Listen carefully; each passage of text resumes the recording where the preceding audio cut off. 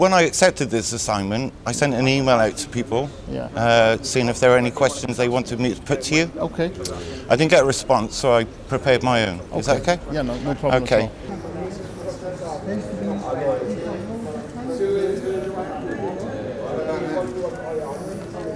Right, my first question. Yeah. Uh, do you mind if I floss?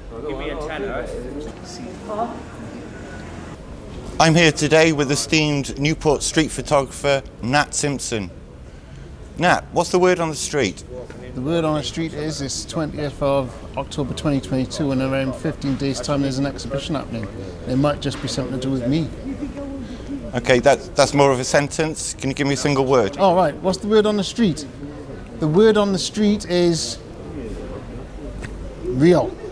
Okay, so Nath, have you uh, ever staged a photograph? I have staged a photograph.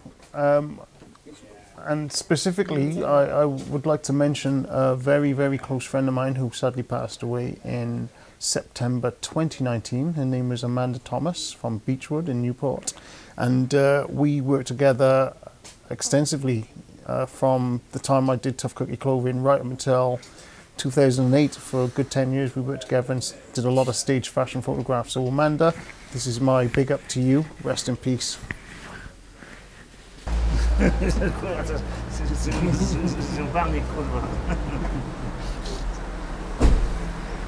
Jest, cały czas na, na, na tym. Na, Your publications, are they street photography, fashion photography, or a merge? They're a of the two? merge. They're a merge. They're a merge of things that will interest readers who um, are not catered for by the general media. Okay.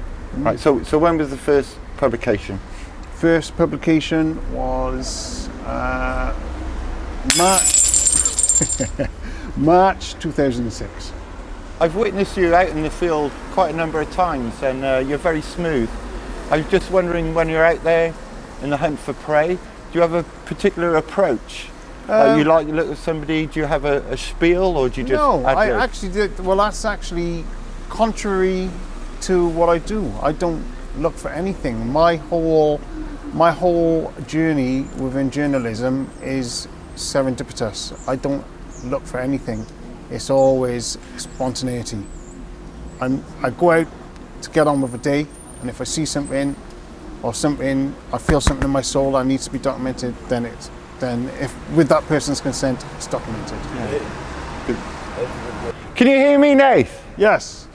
What's the longest you've ever loitered outside a charity shop, waiting in hope that someone will buy that polyester pullover you're desperate to photograph?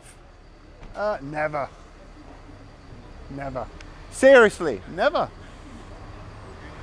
have you ever used Photoshop? Never. Never once.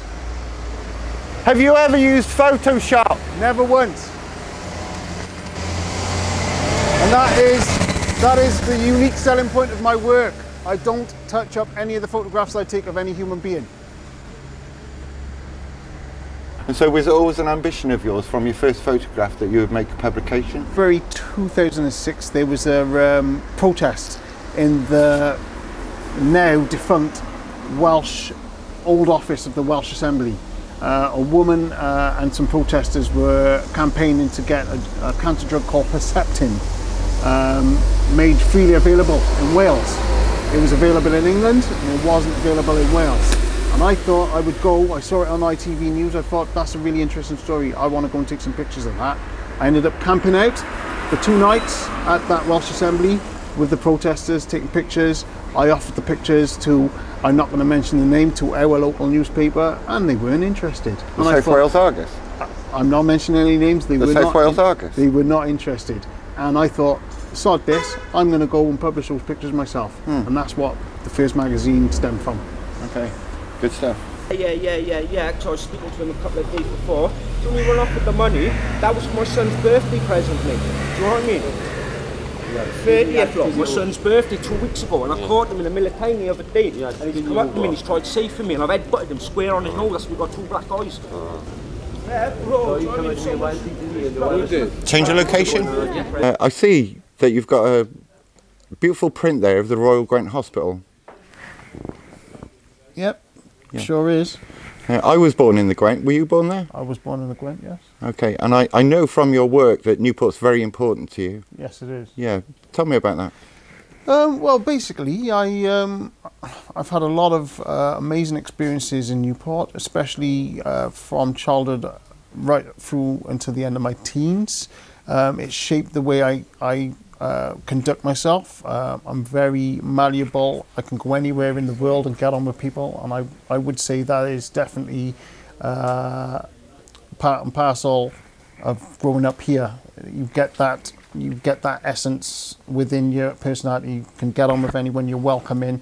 That's Newport. That sums Newport up. And growing up in Newport from day one, that's what I get from it. So I, I thank Newport for that. Tell me about South Wales Today, an exhibition on the 4th of November. South Wales today is exactly what it says on the tin. It's South Wales as it looks today, the people of South Wales, how they look today in real life, everyday situations.